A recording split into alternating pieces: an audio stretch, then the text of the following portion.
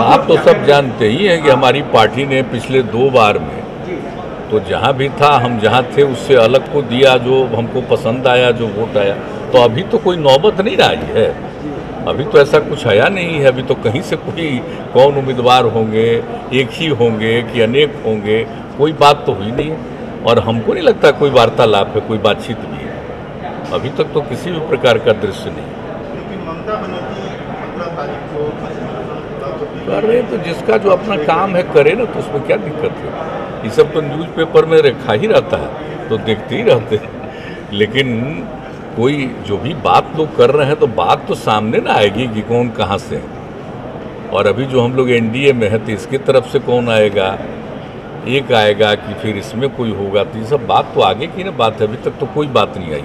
इसलिए अभी इस पर प्रतिक्रिया क्या व्यक्त करना कैंडिडेट के बेसिस पर कोई निर्णय लेने का संभावना?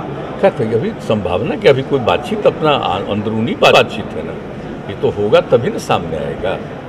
अभी तो किसी चीज़ के बारे में कोई बात आई नहीं है कि कौन कैंडिडेट होंगे किस तरफ़ से कौन कैंडिडेट होंगे कोई बात तो अभी आई नहीं। है सर बिहार का विपक्ष आपको कैंडिडेट के रूप में मानता है? वो वो देखिए क्षमा करिए इसको मत छापिए बिना मतलब की बात।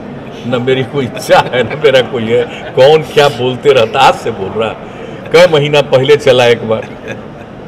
कभी कुछ चला देता है, कभी कोई चला देता है। हम लोगों की कोई दिलचस्पी इन सब चीज़ों में नहीं। हम पहले कर चुके आप लोगों को। आप कोई हमको बीच में मत ला करके मत पूछा उछा करिए छोड़िए उसका कोई मतलब नहीं। रिसेंट में भी सर एक दो दिन पहले भी कुछ ऐसे स्टेटमेंट्स आए आज ही के मंत्रिमंडल के नहीं तो गलत कर दिया ना बेमतलब का वो भी पूरा नहीं दिया फिर बाद में सफ़ाई भी ये सब छोड़ कोई मतलब नहीं सब ये सब पूछने से क्या मतलब? तो ऐसा लगा उन लोग को भी यही लोग फंसा लेते हैं। नहीं नहीं कृपा कर दीजिए। छोड़ दीजिए। वो सबसे कोई मतलब नहीं है। और अभी कुछ दिन के बाद अलग अलग पता चलेगा ना कि कौन कहाँ से कैसे। तो राय विचार तो होगा ना।